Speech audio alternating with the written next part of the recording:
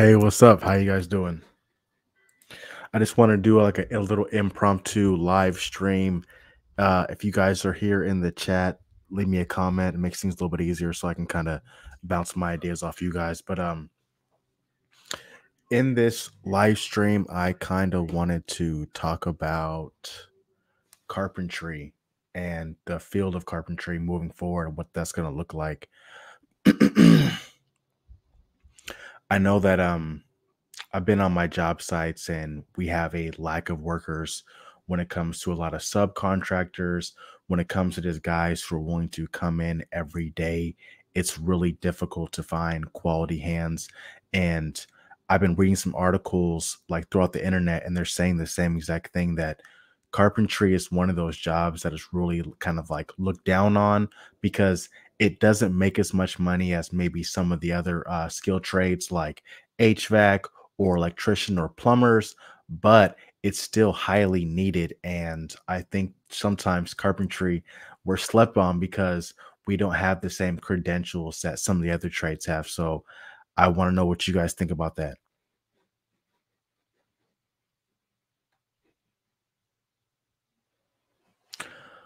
Also, um, because I uh I've been in the union for about seven years, I've seen it's really difficult to kind of get your uh your foot and with a good company. And when you don't, it makes it very, very difficult to like uh to stay on for a long amount of time. You know what I'm saying? So when you first get started in your apprenticeship, you're going to find it very difficult for a lot of companies to take a chance on you. And I think that's one of the most difficult parts about being a carpenter is that especially when you're working in a union where you have to find your own job, it's very very intimidating to have to go out to a job site, go find out a superintendent, go shake his hand, look him in the eye and ask him for a job. And I think that makes it really difficult to get young guys who are, you know, maybe uh haven't grown up in that uh, lifestyle, haven't grown up in a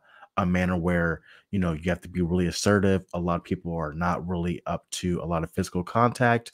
A lot of people aren't um, raised in a way that you know. A lot of people are behind their phones now. People don't even like talking on the phone. People just want to text. So that's I think is another huge barrier for when it comes to carpentry. When you're not familiar with it, and you're kind of coming in blind, it's really difficult. And a lot of the older guys who have been in the trades for a while didn't make it easy. A lot of the guys who have been in there for 30, 40 years, they have a different mentality and they made it very, very difficult for a lot of the younger guys. And so a lot of guys are tapping out. You know, when it came to 2008 housing crisis, a lot of guys either retired or just got wiped out because they had like little small business. So it's becoming very, very difficult to find quality hands that are willing to, you know, take the back breaking labor, um, take the hours. I mean, a lot of times when it comes to being a carpenter, you don't know like uh, what your schedule is going to be sometimes, especially when you're pouring concrete or you have like a, a really tight schedule. It's hard to say, you know, I'm going to be here at seven and get off at 3:30 every single day. That's very difficult. Even though most time a union they do allow you to leave after eight hours. If you're going to stay with the company for a while, most of the time you're going to work overtime. That's going to be the demand, especially when they're running a tight crew where they don't have a lot of extra uh, manpower. It's kind of hard to let your guys down and say, you know, hey, I want to leave after eight hours and everybody else is working 10s and 12s. So I think it's really important that you know like what you're standing up for when you do come a carpenter is that you're going to be the point guard of your job site you're going to be the guys who, if there's no laborers there, you're going to be driving the forklift, you're going to be setting the steel, you're going to be doing the framing. If you're working with subcontractors, and do something wrong, you have to fix it. We go through that all the time um, as carpenters. So I think because we're so slept on, because like we don't have the same credentials as other trades, it makes it very difficult to say, hey, if you're a high school student, if you have a choice of being an electrician, HVAC, plumber, elevator tech, or carpenter, which one are you going to choose? Carpenter is usually at the bottom. But I think that now, as time has gone on, I think carpenters are going to have to take more of a, a pivotal role moving forward, especially with everybody saying, you know, housing prices are so expensive. Um, we need more housing. Well, who's going to build these houses? A lot of people look down on, you know, construction period, but especially carpenters. Who's going to be building these houses that you guys are going to live in? Who's going to build these affordable uh, housing spaces? Who's going to be uh, revitalizing some of these older buildings and making the spaces where you can uh, move into?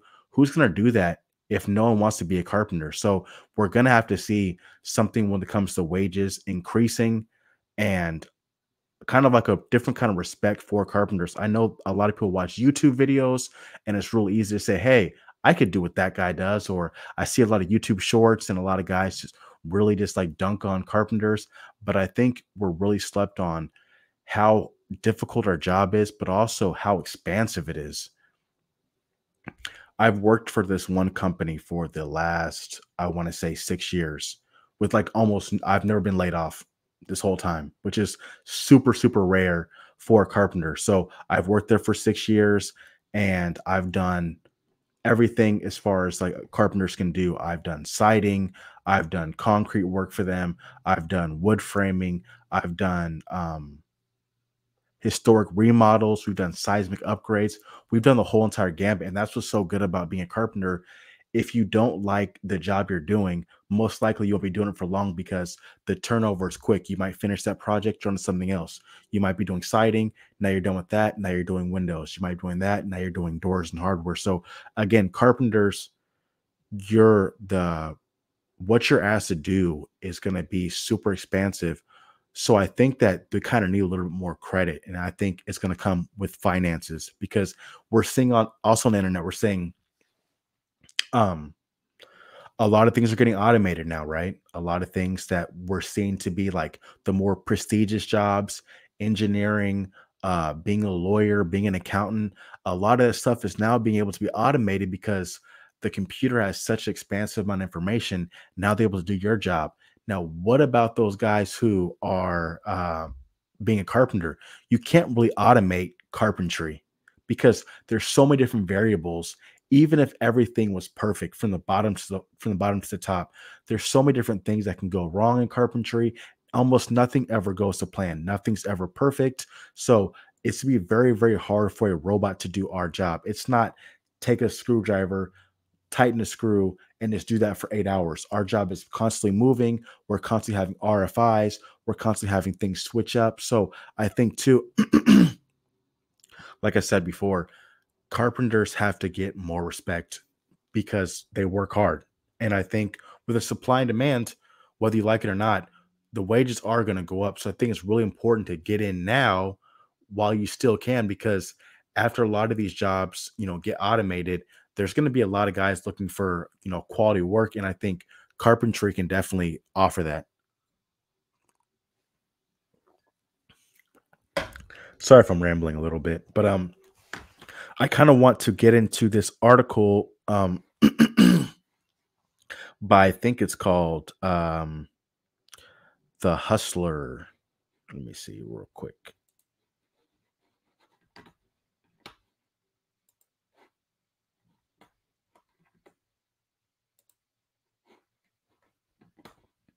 Okay, so in this article, it talks about why America has so few carpenters.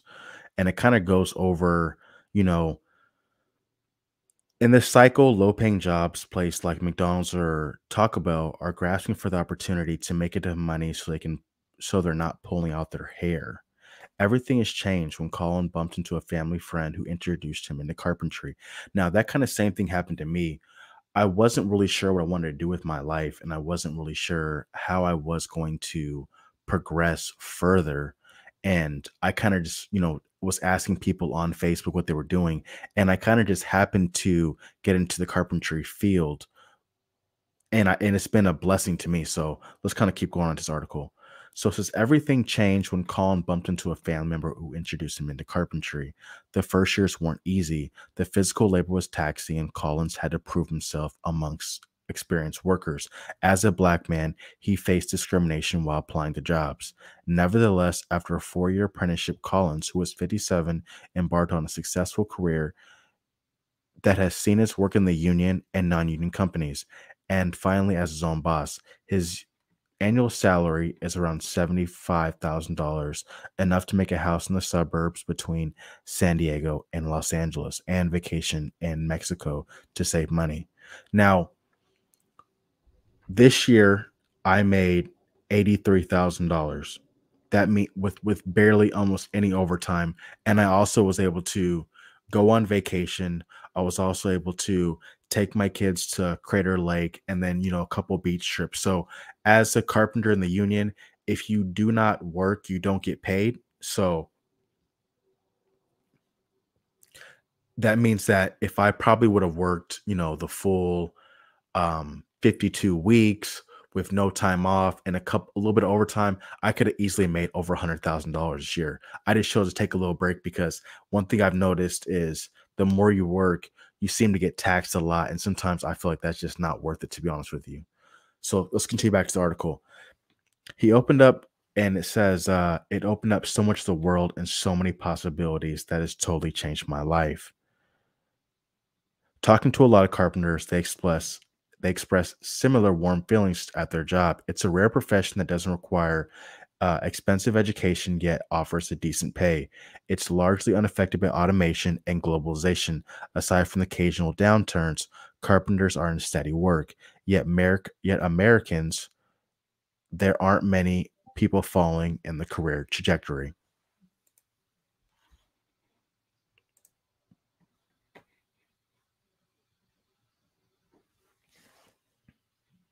Yeah, and so a, a little bit about that, you know, when they say that, you know, a lot of people are not following that same path, it kind of seems like for so long, you know, construction period kind of got demonized in the media. You might see guys wearing a vest and a hard hat, and there are always people that are catcalling women. Um, and they're kind of harassing people, and people are kind of like saying, Hey, if you don't do a good job, then you're going to be, you know, have to work in construction and you have to have a the you know the metal the metal uh lunch pail and you know get treated like shit and be around a whole bunch of like ornery dudes. But honestly the pay is definitely worth it especially if you're in the union. Now i can't speak on non-union jobs especially in the residential because i've heard the pay is definitely isn't as good. I've heard that for some reason uh, mcdonald's wages are comparable in some areas and so that makes it really difficult. When you have a job that says hey you can be a framer in residential and get paid 19 bucks an hour or work at McDonald's for 17 that two dollars an hour especially when it comes to non-union when you're saying you have to bring your own tools uh bring your own supplies and work your ass off for the same amount of money that's a difficult difficult sell to be honest with you. Let's get back to that article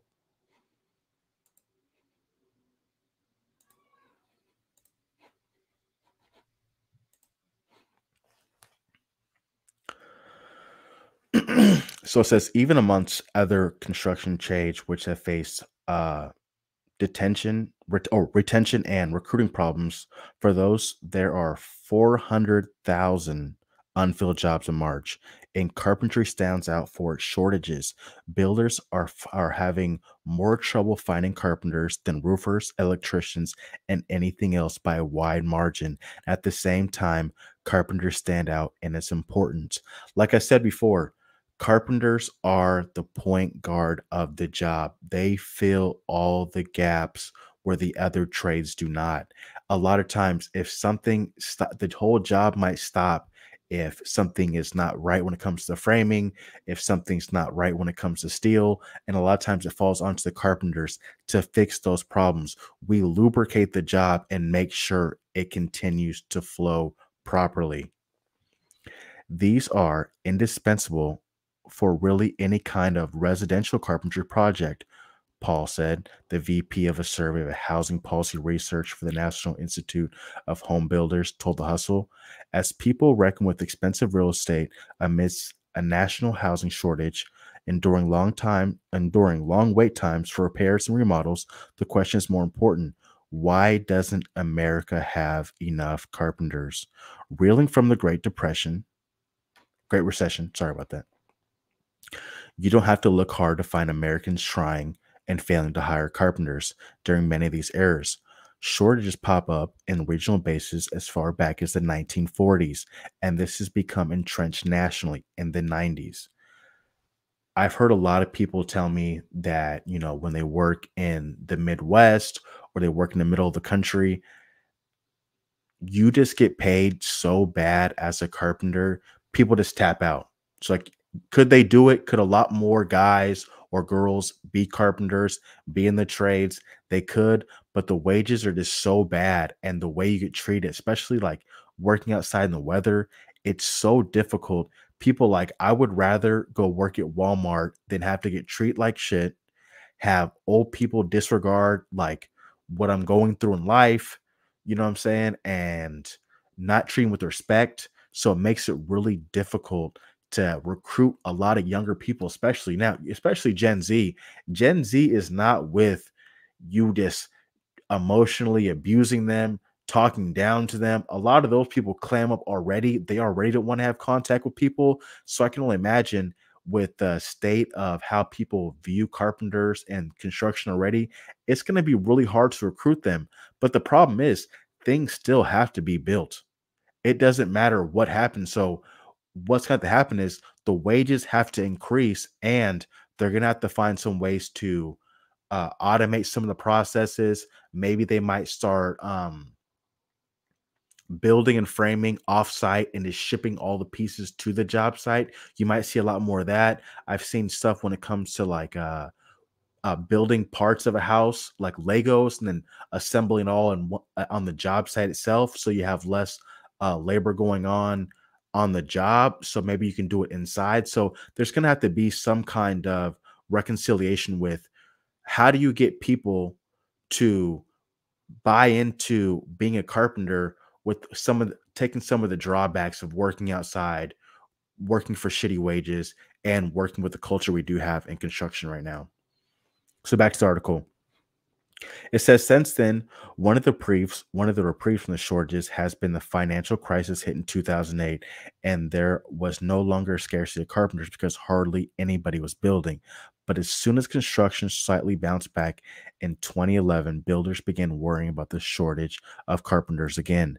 Many of the carpenters who lost their job in the financial crisis left the industry for good, and now the home construction is approaching pre Great Recession levels, and the shortages have reached new highs. And a 2018 survey by the National Association of Home Builders revealed in the 90s, single family homes one second. It says these numbers were higher uh, by the NAHB most recent poll from last November. Builders were finding it harder to hire three types of carpenters more than any other building trades. That's framers, rough carpenters, and finish carpenters. I'm assuming the rough carpenters is talking about like concrete, uh, demo, um, anything that doesn't involve maybe maybe siding, but I think siding might be considered considered finish work. It says, whenever we're in the term of a shortage of labor, the percentages are always the most acute in the widespread of category of carpenters. The carpenter shortage could be worse where if it not for the pandemic were to supply issues. Excuse me. Home builders would need even more carpenters if it wasn't taking several months to procure good lumber to enough how to buy to build enough houses to start new houses. But the shortages of carpenters has still led construction delays to a higher expense of builders.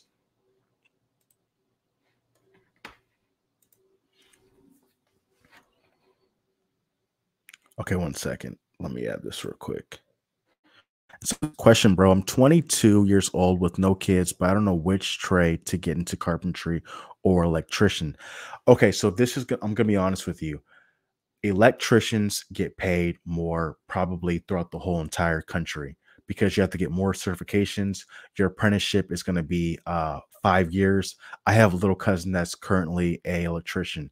It's a different skill set. You know, you're going to be doing the same thing over and over again, whether you're uh, pulling um, pulling wires, you're snipping wires. I, I can't really go into it too much because I'm only there. Like I see them roughing in stuff and pulling wire all the time, but it kind of depends on what you want to do. If you're talking about having a job that's going to be more like expansive, where you're going to do a lot more things, then definitely carpentry is going to be easier to get into and you're going to be able to do a lot more like a lot diff- a lot of different tasks a lot of different jobs and so i think that's definitely one of the benefits of becoming a carpenter because there's so many things you can do like say you're working for a company and you're doing straight concrete all the time there's some companies in like uh, Portland. You might be working for um, Walsh or Perlo, and they do like tilt ups where they'll pour the concrete on the ground, and they'll just they'll make the walls, and then they'll pull them up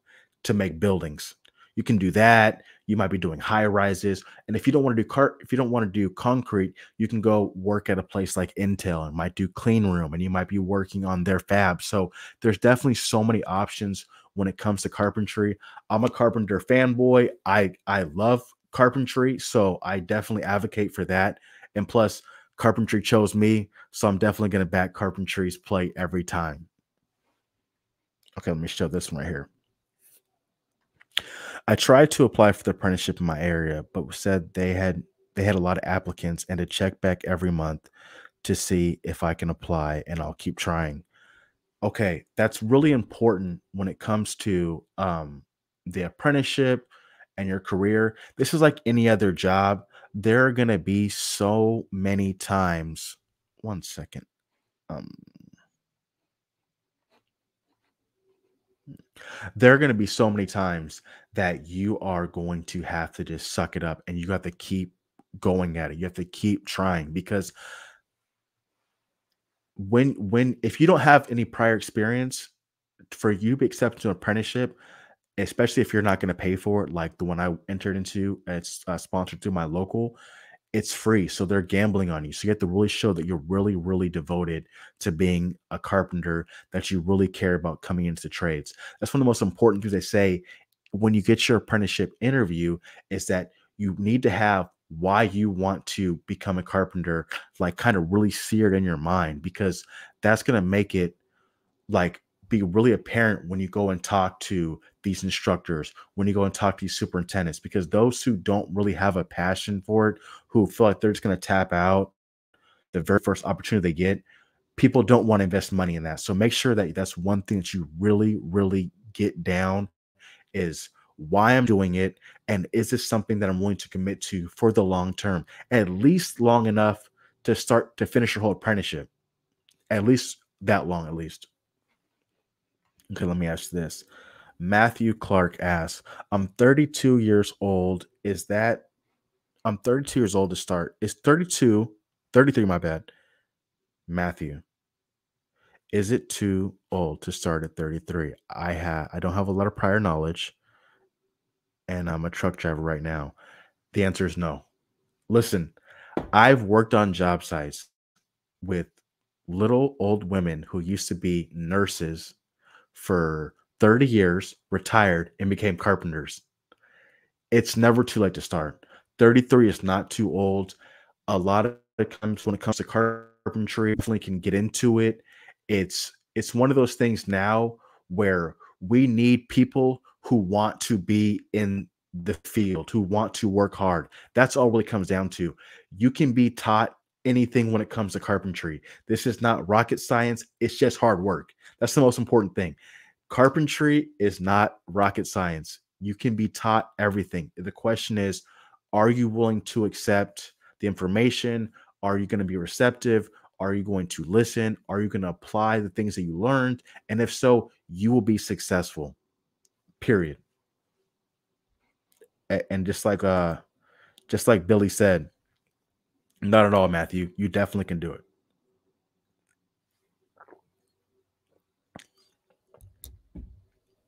Another question. Another question, bro. Trade school versus unions.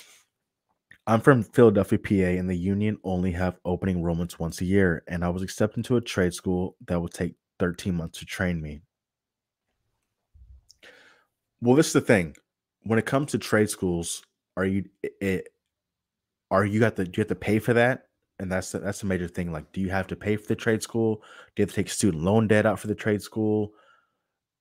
I like I said, when I applied for my union, um, I was it was through my apprenticeship was through my union, so it didn't cost me anything. But again, it is something that it doesn't open up all the time because they want to make sure that every apprentice that's in the actual apprenticeship doesn't have to suffer with not having a job.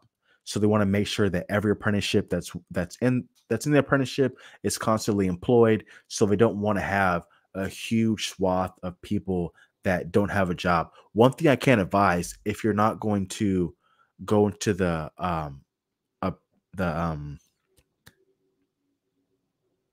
go to the trade school route, you could probably ap- apply to become a um, carpenter's helper. That's what we have in Oregon. And so it's not necessarily a laborer, but it's someone who works for the carpenters that you kind of get your foot in the door. And then, like most unions, apprenticeships will hire you if you have a job. They just don't want to have a huge swath of you know, new enrollees that can't find work. And so now they have like a log jam of guys who are like no experience, can't find a job. It makes things more difficult. So if you can maybe get on as a carpenter's helper or maybe get hired, maybe get a letter of uh intent to hire from a company, then you might have a better chance of getting to the uh, apprenticeship.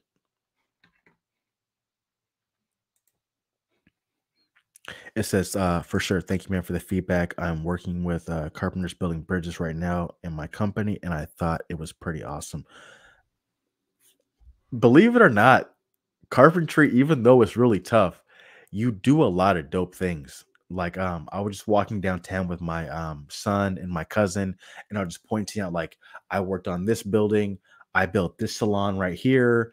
Um, I was a part of this low income housing.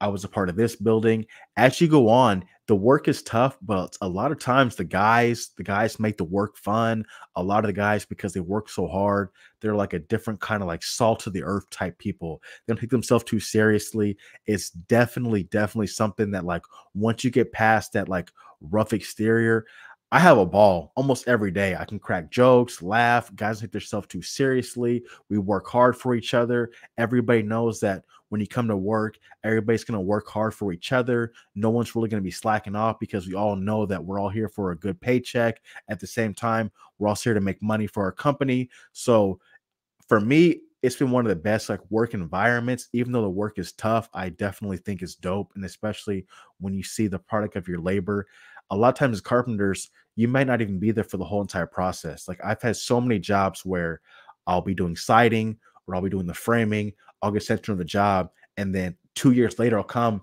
and the whole thing's done. And I'm like, that's dope. Even though I might have been there for the whole process, I was still part of, you know, this this being created. And I think that's also something that is awesome. Okay, let's go to Greg. Matthew Clark, I went to the carpentry as a machine shop when I was 37. I knew absolutely nothing showing up. Work hard, pay attention, and the rest will take care of itself. That's true. Like I said, when it comes to carpentry, it's really all about the attitude. And I said in a prior video too, what's something that's very, very important is you still are providing a service to your um your community, your company, your attitude is so important. If you just pay attention, have a good attitude, you don't have to be the top S tier, the baddest carpenter alive because most of us aren't going to be that. Most of us are going to be probably decent at our job, work hard, uh, do our best, and then go home. If you can do that, you'll be better than probably 70% of the dudes. Some guys stay on just because they show up every day on time. That's all it takes. So if you could do that alone, you're going to be fine.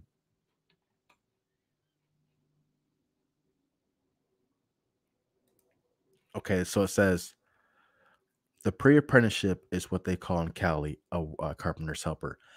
Yeah, um, for so in Oregon there are a pre-apprenticeship like programs, like it might be like a little class. So say if you've never ever ever like touched like a saw or been a part of uh you know with the impact or ever you know actually been familiar with the stuff you can go to an actual class and they'll show you some of these things so you're not flying out like completely blind me myself i came out completely blind. They just said, "Hey, go find a job." And once I found that job, I had no idea what I was doing. So I think a pre-apprenticeship probably would have helped me more. But you know, hey, if you can get in there and get your foot in the door and make an impression, maybe with your instructor or maybe go to some union meetings, that's where you're going to make those connections. Because believe it or not, a lot of guys who are in their unions, they're not going to the meetings that often, they're not being involved. And so those who are in the unions, they want to help guys get on. So if you uh, participate on that end, you definitely might have a way to get in because people see your attitude and they want to help guys who want to help themselves. So it says, uh, yo, bro, what is your goal for this year when it comes to carpentry? I just think when it comes to carpentry, my goals is just getting better. You know, there's certain things I'm not familiar with that I've never done before. Um, I kind of want to get on to more finish work because that's kind of like really shows like who's a really good carpenter and who's not and I definitely want to perfect that. I've had some some some opportunities, but not that much because I'm kind of a younger guy and they kind of want to keep those jobs for the older, really experienced veterans. But I kind of want to get better with like hanging doors, doing trim work, maybe um doing something uh when it comes to some more expensive woods. I know we've done some projects where we built some really like nice like staircases on some um you know luxury hotels or luxury buildings and i kind of want to get involved in that so i kind of want to up my um, carpentry game so that i can really you know do some more intricate work when it comes to carpentry.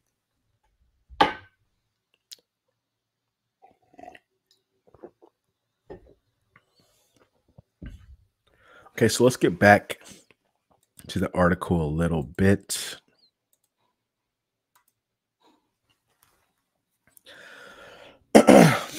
so he says he used to pay carpenters. So this is like uh, I think this is piecework. So he said he used to pay carpenters two dollars and fifty cent per square feet to frame a house, and now he pays nearly three times as much, a cost that is passed on to the consumer. Yet even with the wages increasing, carpenters find that they're not making enough money. That's facts. I know so many people that build houses that cannot afford to live where they work or where they build. And I'm not talking about, you know, guys who are building in the most like extravagant areas. It's very, very hard to buy a house right now because there are so few carpenters.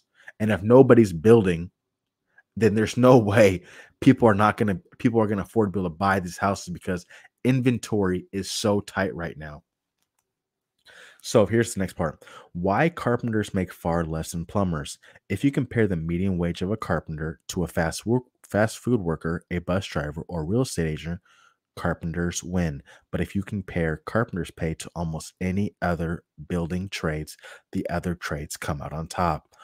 Uh, a recent analysis of the Bureau of Labor Statistics uh, by the uh, NAHB indicated carpenters with a median income of 48K, ranked in last for median income out of the 19 most common trades.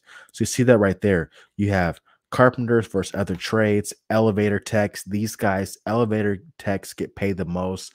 This trade is damn near like a guild. It is hard as hell to get into.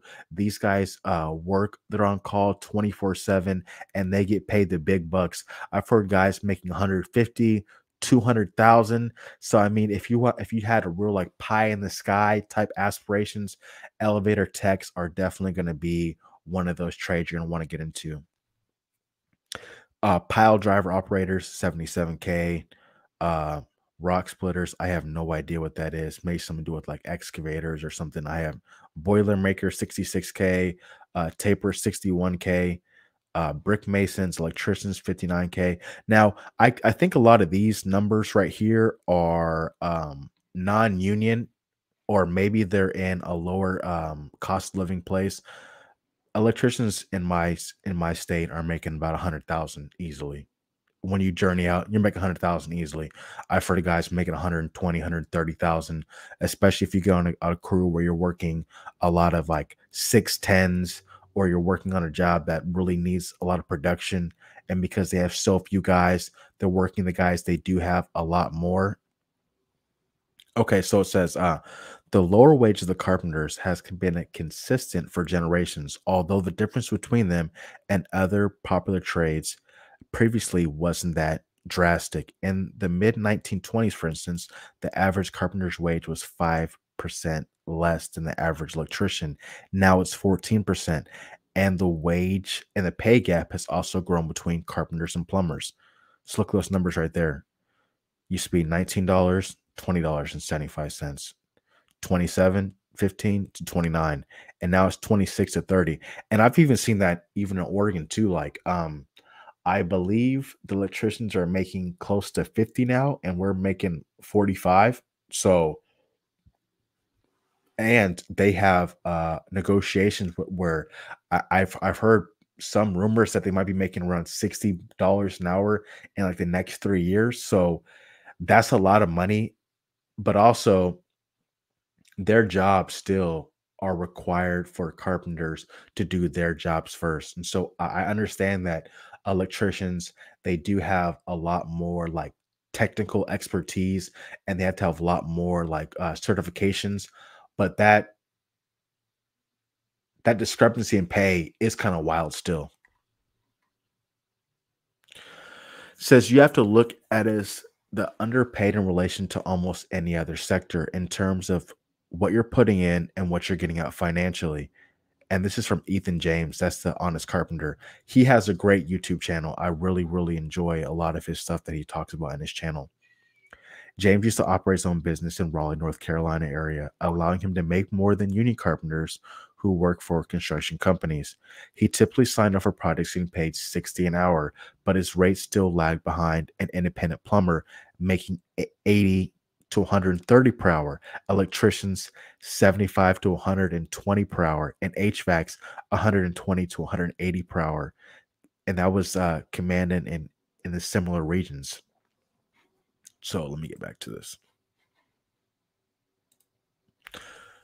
And I think that's one thing that's also with YouTube and people seeing a lot of DIY work, they don't really appreciate how difficult it is to uh, do the job correctly because you might see a guy who's been proficient, who's worked with these tools for all these years, and so when they are um, when when they are doing this job, it looks really easily. But a lot of times you're going to try to do it yourself and you're going to fail and still end up hiring a carpenter to fix it after you. But one thing um, they talked about too is when it comes to electricians or HVACs or plumbers, their jobs are done so quickly that when they demand a 120, 200, if they're only working for two hours, maybe a day, you can you can do that. But if you have like you know a 40 hours or 80 hour job and you're uh, dealing out $200 an hour, that's a lot. And a lot of people think like they can't really afford to do that. So let me get back to these comments. Uh, the Job Corps and the UBC instructors in Western Massachusetts, we are loving what you're doing. Keep it up. Oh, thank you, bro. Hey, I'm I'm trying. I'm trying. I'm trying to spread the message. Uh, I, I attended Job Corps in Oregon. It was a great experience. I probably should have stuck with it. I was actually in the electrical program, so uh, man, I probably should have stuck with it. it said I made a hundred and he says right here, I made 175 as an equipment operator. Jesus. Wow that's a lot of money. I I, I want to know like how much overtime were you working? Like how many hours, or did you have your own? Uh, did you have your own vehicle? Like how did that work? How did you make that much? And are you thinking about becoming a carpenter now? Greg says in 1920s nobody had electricity, so it was not a good comparison. Yeah, I could see that. I, I, I could definitely see that. I was I was hearing um on a podcast they're saying that people want to go back to like 1950s um, lifestyles but in the 1950s a lot of the houses didn't even have running uh didn't have running plumbing like they didn't have they didn't have uh toilets they had outhouses still in a large part of the south so i definitely think that's a, a big you know comparison like when you're comparing electrical or plumbing or HVAC in certain areas, you're going to get paid a lot more, especially when it's a lot more like densely populated uh, places, states. Says, what is the longest you had to drive for a job? Um, I recently worked a job that I had to drive about an hour and a half there, and it was about two hours home. And that's probably the, the most I'll do because I still have a family and like my company needed me to do this because like no one else would do it. So I'm kind of the guy that will like, I'll do it if no one else will, but only to a certain extent. Like I'm not going to drive any more than two hours because then it becomes like I'll have no time with my family. I still got to be with my son. I still take kids to like practice sometimes or uh, you know, tutoring after school. So I try to keep that balance. Like if it's anything more than that, like I probably have to pass on it. And if I take a layoff, I'd probably do that because I can't be driving three hours a day commuting. That's a lot of gas. That's a lot, and especially if it's not, they're not giving out a good like per diem. I definitely don't want to travel more than an hour and a half a day.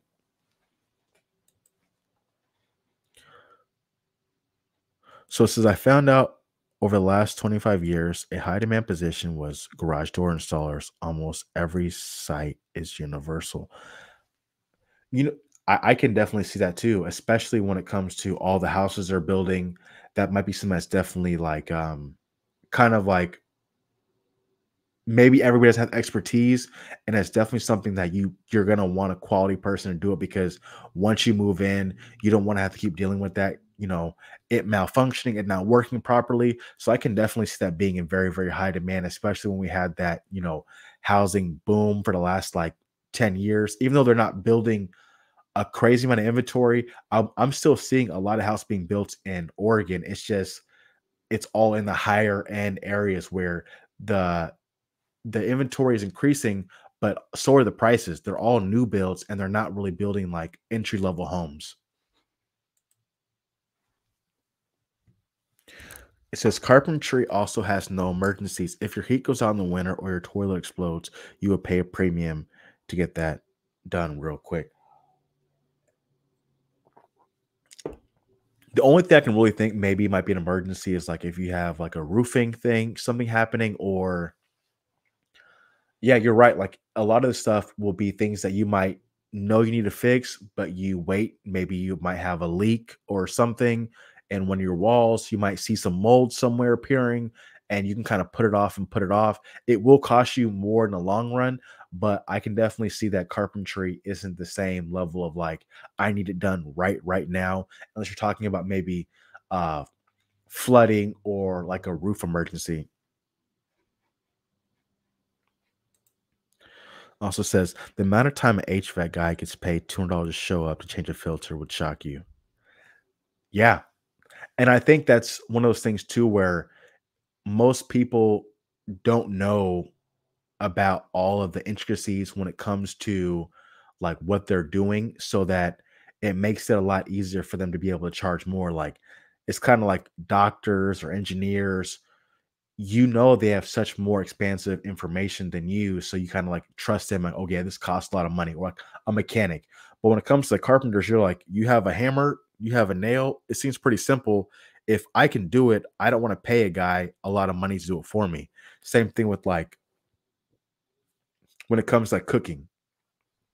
A lot of people think uh the cook um I can do what they do, so I want to pay them a lot of money, but they took a lot of time to perfect their craft, so that's why they charge a premium. And I think the same thing when it comes to carpenters when he gets that like top level echelon where you're like doing the really intricate uh finish work or you're doing the real intricate woodwork, that's when you might get paid a lot more money because when somebody can't really put their mind behind like how they they you do it, seems, it like you get paid more for the for that for some reason. It says uh, this is Chief when he said he made that hundred seventy five thousand dollars. Says I was working sixty eight hours a week as an equipment operator. Just got into the union last week. Local 619 in Cali. I wanted more home time. Again, that's something that's really important too. One thing that's great about being a union carpenter is the fact that you can have that balance. Now, there are going to be some times where they are going to ask you to work overtime, but a lot of times that time and a half is going to cost a lot of money. So you want to keep that down, that premium down. You know what I mean? So, like I said, I made um $83,000 this year and I might have worked, I don't know, 30, 40 hours overtime this year. So barely almost any overtime, all of it is straight time. And I took a couple weeks off for vacation. So you definitely can find a work life balance as a union carpenter.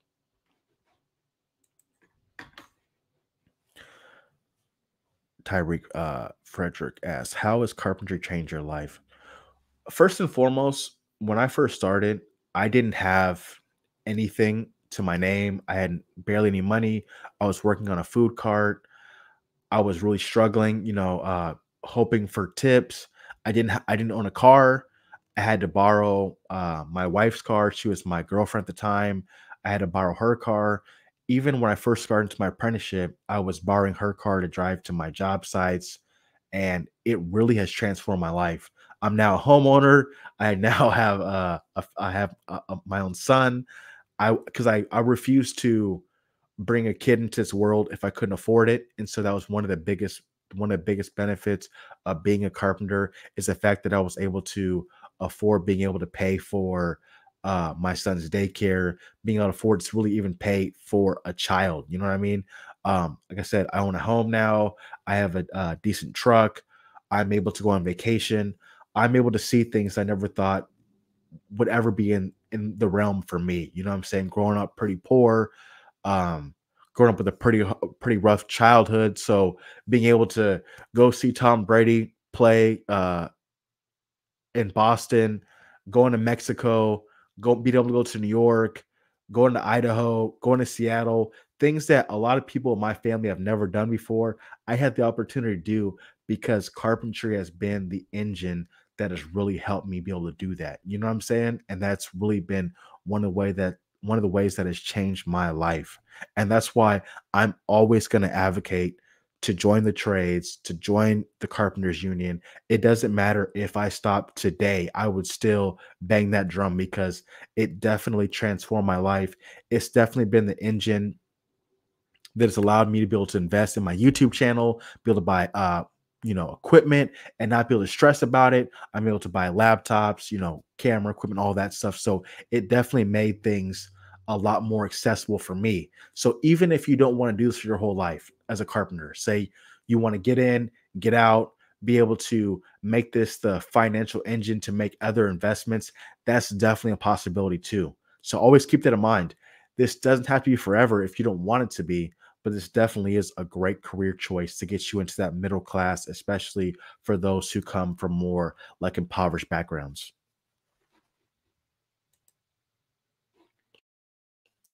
GCs normally make the biggest dollars working for insurance companies doing restorations.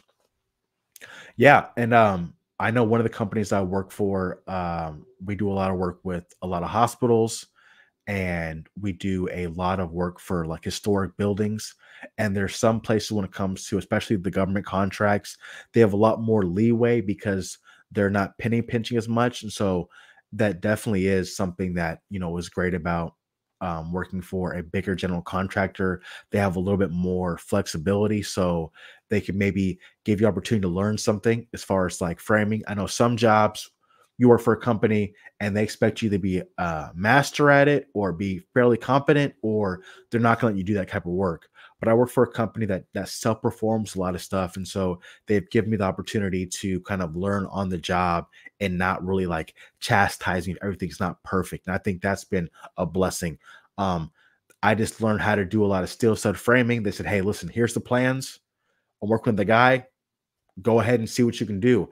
And we pretty much worked it out. We we we figured out you know some of the ways we can become faster. And over time uh we, we progressed and learned. And i'm now I'm, I'm a pretty competent steel stud framer. I mean i'm not perfect. I probably get blown out of the water by someone who does every day but at least you're able to get your foot in the door and learn some of these processes by you know getting the opportunity. I think that's really important too. Sometimes even if you don't, it's good to just jump out there and get your feet wet so that you know if it was crunch time, at least you have some kind of backward uh some you have some kind of um expertise you because you just tried it before.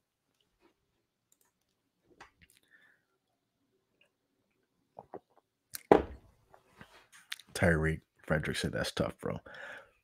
Hey man, I'm telling you, if you feel like I know a lot of guys talk about like, you know, they don't want to go to college, they don't know what they're gonna do, they feel like their life is kind of like at a a crossroads. My little cousin just went to the military because he said, you know, he doesn't want he doesn't know what he wants to do. He kind of wants to get like more purpose, more grit, more determination, and I think that's also a great choice. But if you want to stay here and not potentially be involved in, you know, all the stuff the military has to go through, I think carpentry definitely offers that same opportunity of like every day getting up early. I get up at five o'clock every day, uh, make my own lunches. I don't go out and buy, you know, a lot of fast food. I make my own lunches. I'm there every day on time. It's stretch and flex. It's straight to work, and it's just every day doing the same thing because I know my guys are depending on me. So I'm not taking a lot of extra sick days off. It's just every day coming and just grinding. And then as that goes on more and more, you get more of like grit, you get more determination, you become more like solidified. And I think that's a really, a really benefit of being a carpenter. It's like going through tough things makes you a, a tougher person, especially when you go on the other side and you see like, hey, as bad as I thought that was gonna be, I got through that, and now it makes you something where you can draw back on those past experiences to harken back when things get tough. And I think the more things you accomplish, the more you overcome struggles, the easier, you know, life becomes. And I think that's one thing that carpentry, that construction definitely offers that I think a lot of young guys are missing right now. A lot of guys are playing video games, they're getting these like achievements online, but those don't really translate into the real world. You know what I'm saying? Like when you master a game, well, two months later, three months later, a new game comes out, and now all those things you learned aren't really applicable in the real world. One thing that's dope about being a carpenter or being in the trades is all those things you're learning are applicable in real life. You can go and buy you a fixer upper house, or maybe go to your family member's house and you say, "Oh, my door's not swinging the right way." Well, you can go in your truck or go in your car, grab the grab your tools, fix it up for your family. You know, give back to your family. And I think that's one of the things that have been the real benefit for me is that not only have I been able to you know, transform my life, but I'm also able to give back to my family, help my family out whenever needed. My little sister needed her air conditioning installed, and she had no real way to do it the proper way, like as far as um installing inside of her house. So I was able to build like a little podium outside with um, you know, some two by fours. And I think that was something that really gave me a sense of accomplishment because not only is this work applicable at my job site, but I also can take this back into the real world.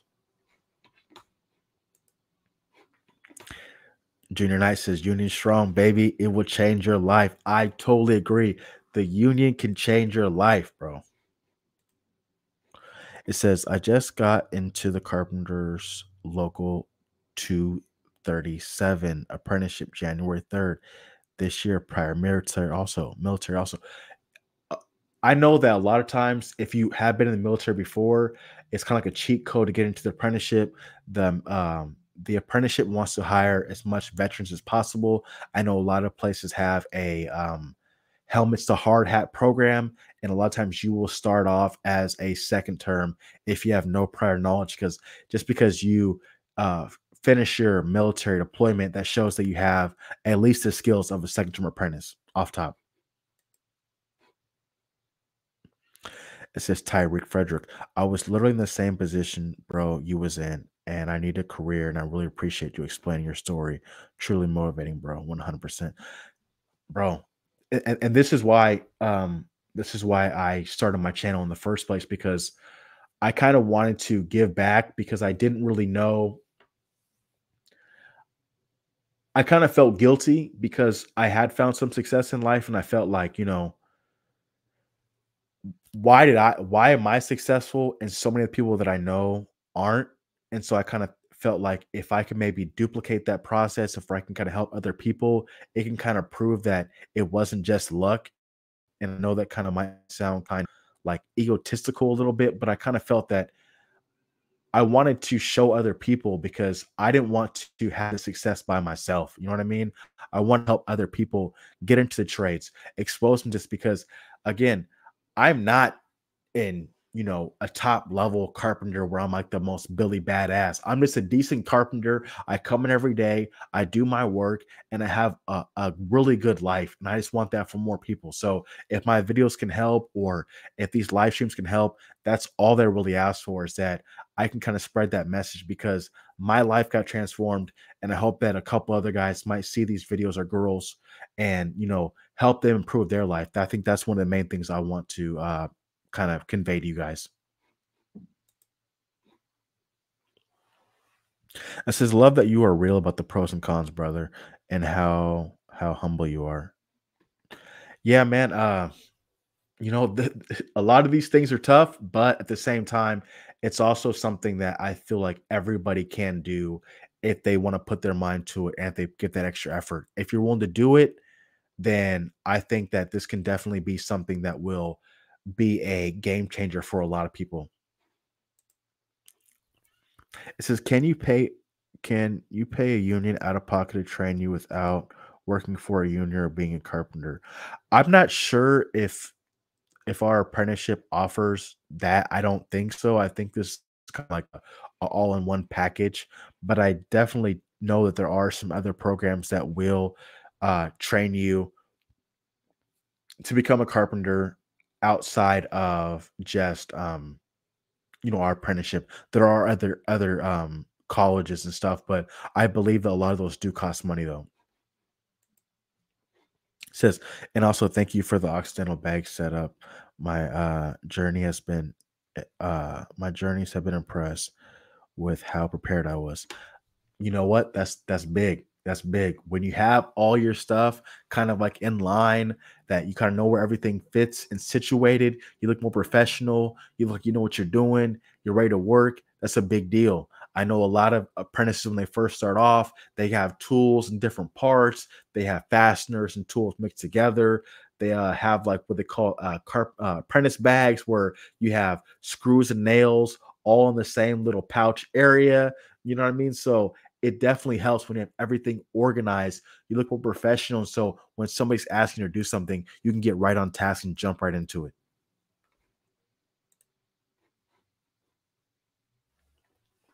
Yes, John, that's true. Uh, it's, it is possible there are other trade uh, school programs that aren't affiliated with the union that you definitely could probably try to look out for. So um, I'm gonna do some research and look and see if I can help you out. If you haven't before, if you haven't checked before, join the Discord channel. I'm gonna drop that link in the chat.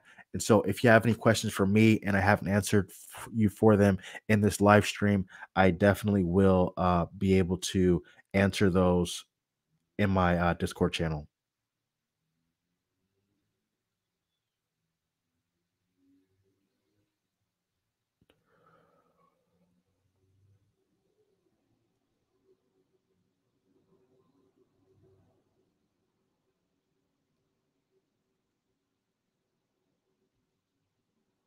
There you go. I just dropped the Discord link right there. Yeah, so let's let's go let's art finish article out and then I will be heading out. I know it might be late for a lot of you guys, so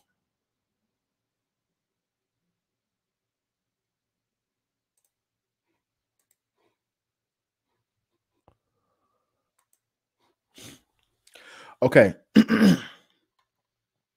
So says here's why carpenters make less money than their peers in the trades. Extensive nature of the work. Carpenters projects, both remodels and new builds, often take weeks or months, whereas plumbers and electricians can finish a job in a matter of hours. James says it's hard to charge for higher amounts over longer periods of time. And there's a lower barrier of entry. Carpenters do not have to go through extensive licensing processes in most states, as electricians and plumbers do. In Raleigh, James says, most can buy a tool bag and call themselves a carpenter. And this is Honest Carpenter right here. And he talked about that in this video. That's true. A lot of guys can pose as if they are, you know, qualified carpenters by just showing up with some tool bags on and brag about all their prior experience. But then when it comes down to it, a lot of these guys are just living off bravado. Do not be one of those guys on a bigger job site. Do not talk about how good you are as a carpenter and all the things you've done if you're not badass. Like if you're not like top of the food chain in carpentry, do not brag because all it's going to do is, first of all, make you look super foolish and it's going to make everybody roll their eyes and want to dismiss you because you're not that guy. If, if anything, it's better to be humble and keep what you know to yourself so that way you can overperform opposed to like underperforming based off of your mouth writing a check that your ass can't cash. You know what I'm saying? And I think that's a really big deal. Do not oversell how good of a carpenter you are, especially when there are so many facets you might not be familiar with. You may be a dope ass framer, but then they may take you to a place where you're doing a high rise building and something you're unfamiliar with. And then you might be, you know, swimming in deep waters you're unfamiliar with. And that's why I do recommend if you are coming from the non union side, at least try to join as an apprentice, maybe further along, maybe sixth or seventh term, you most likely be making more than you would as a non-union guy. But at the same time, you get a chance to go to the school a little bit. You get a, you get a chance to pick some of the instructors' brains, and also you have that grace of being a apprentice.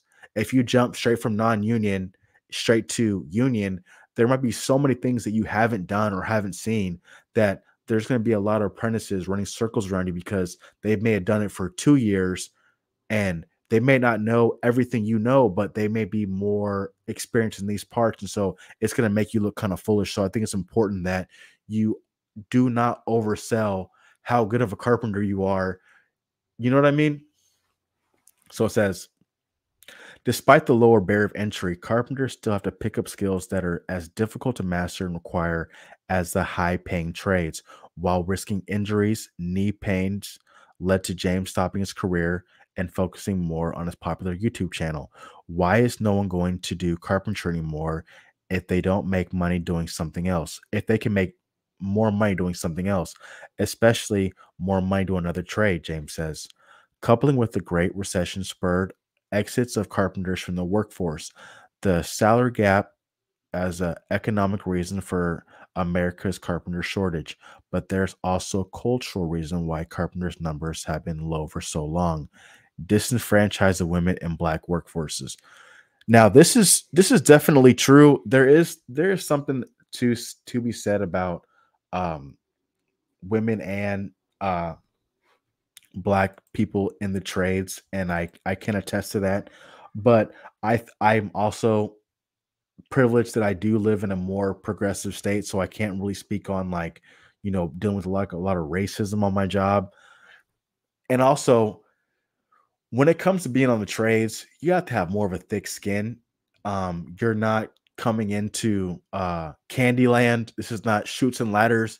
Guys might just bust your balls, and it might not be a thing where it's like a, a racist remark. It may just be like, you know, guys might be just insensitive. They don't know like every cultural touchstone. So they may say something that they may be perceived as just a joke. You may be perceived as racist, or you may be be perceived as insensitive. So I'd much rather say I give people grace because I require grace. And so if somebody says something that you feel like is inappropriate, just pull them aside and let them know, like, hey, you said something I didn't like. And so here's why uh, I don't appreciate that. But make sure that you don't fly off your lid. I had some guys, somebody said something to them they thought might have been racist, and they just jumped off the handle. They started cussing the guy out they started yelling, yelling at the superintendent, and it may feel good in the moment. You like you got them and you showed them, you, you showed them you're not no punk or you won't take that abuse. But it's like now people look at you as like you lack self control, you lack the ability to problem solve. We're gonna get you off this job as soon as possible, as soon as it blows over. So I do not advocate going off the rails when it comes to uh racial issues or like maybe if you're a woman, uh, like sexist issues. If a guy's being a creep,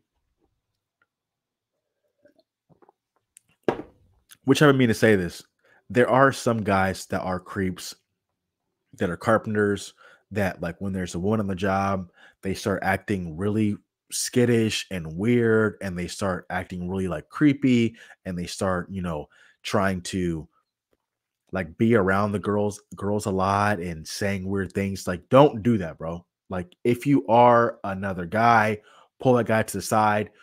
No person should ever have to feel uncomfortable or get weird weird vibes from guys because they don't know how to handle themselves just because they are at your job doesn't mean that you they are required to give you attention. It's really weird.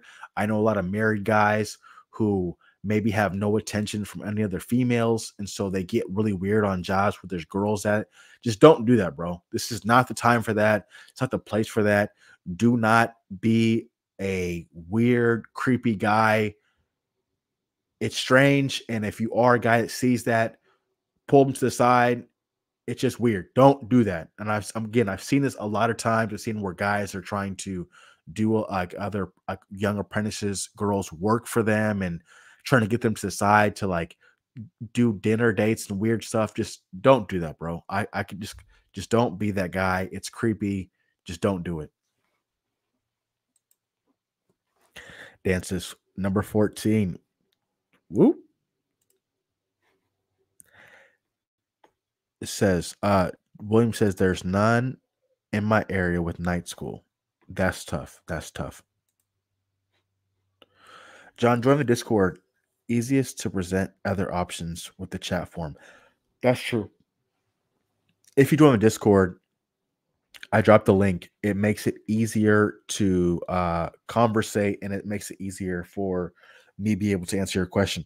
I think I dropped the link to it. I don't see it in here, but I'll try to drop it again.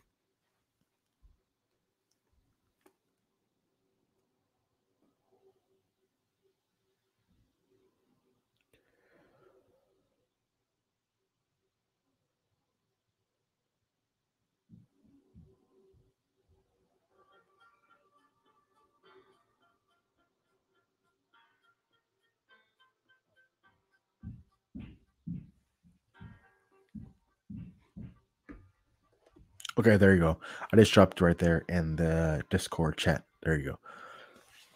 Okay, so one last time, let's finish this uh, last article and then we will call it a day. This has been a lot more successful than I expected. Um, I have never been able to make it this long at a live stream by myself, so I really appreciate you guys um, sticking with me.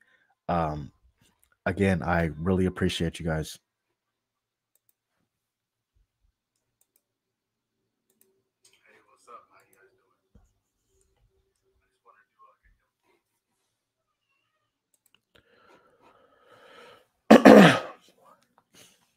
Says Nakia Hunter was inspired by construction as a young age, dreaming of turning raw materials into something communities can use forever. But her father warned her that she'll never make it. My dad kept kept and prevalent in my mind that I wasn't a space that I'd be brought into. And he was right. Most young carpenters face hazing when they start out, but Hunter, like many black and female carpenters, dealt with racial animus in isolation. One time she said two carpenters pulled back a two by four of lumber and let it slap her in the face. That's foul. That's foul. I mean, th- there are there are little weird things that guys do as far as like hazing, maybe putting a two by in between two sawhorses and asking a guy to cut it because they know it's going to bind up, or uh, having guys look for tools that don't exist, board stretchers and whatnot. But again, that's foul. Between the verbal and physical abuse and the failure of experienced carpenters to lead uh, carpenters to provide instruction, it took her seven years to finish her apprenticeship that was supposed to take four. Now, that's one big thing too when it comes to um, the carpenter trades in our in our union apprenticeship in Oregon. You're able to get a lot more mentorship if you need it. Um, a lot of times you can come after work and go into these classes and get the help that you need. Um, there's a lot of open doors. It's just you have to express that you need help. You know what I'm saying? And if you are more active in your union, you can get a lot more help when it comes to representatives. So definitely make sure that you are putting out there that you need help or putting out there that you need more um, one-on-one time with your instructors you can probably come after work a lot of times you open up the shop floor at five o'clock so if you need more like um, certain things that we worked out for you that definitely could be an avenue for you so it says to get to other workers to train her and eventually rise to level foreman hunter said she had to be comfortable she had to conform to be an asshole and laughed at the racist and sexist jokes as she regular regularly heard. Nakia Hunter said she had plenty of people leave carpentry after dealing with abuse and discrimination as apprentices. That's true. It says Collins, who wrote the Black Carpenter's Guide, experienced similar racism in San Diego area. He recall he rec- he recalled instances where leaders at union jobs would tell him no work was available, only to hear coworkers that the leadership was bringing to everyone except black carpenters. When he did join the job, he often he often would be excluded from high-paying positions like foreman. They also wanted to show up and be happy and keep his mouth shut. That's pretty much it in a nutshell.